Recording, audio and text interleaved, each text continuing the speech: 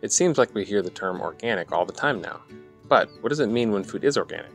Organic farmers often strive to use renewable resources and conserve soil and water quality.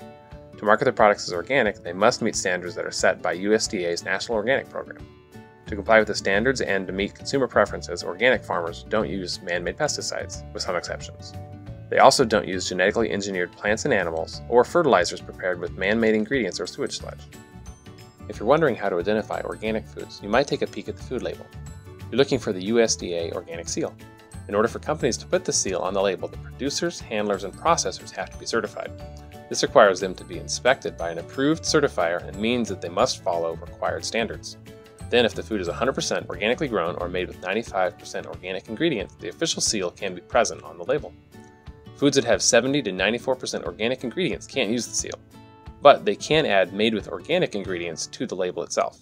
If you heard that organic meant no pesticides, you heard wrong. There may still be pesticide residue on organic foods, since even natural pesticides like plant oils and sulfur dust can leave residue behind. Organic foods often carry lower amounts of pesticide residue than conventional foods. If you're wondering whether organic foods are tested and if there's a limit to the amount of pesticide allowed on organic foods, the answer isn't a simple yes. When it comes to conventionally grown foods, the EPA sets a limit to the amount of a certain pesticide that will be tolerated on a specific crop. This is known as a tolerance or maximum residue limit.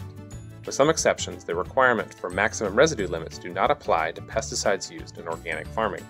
So, when the USDA randomly tests foods that display the USDA organic claim on their label, they aren't checking the levels of approved pesticides on the food. They are making sure the food doesn't have more than 5% of the level of a pesticide allowed on non organic foods. Why would any amount of man made pesticide be allowed? Well, because sometimes contact with man made pesticides can't really be avoided. Say a processing plant handles non organic and organic foods. Trace amounts of pesticide from one food may transfer to the other. So, to sum this up, organic just means that the food was grown and processed according to certain standards set by USDA. For more information about man made and organic pesticides, you can give us a call, send us an email, or visit us online.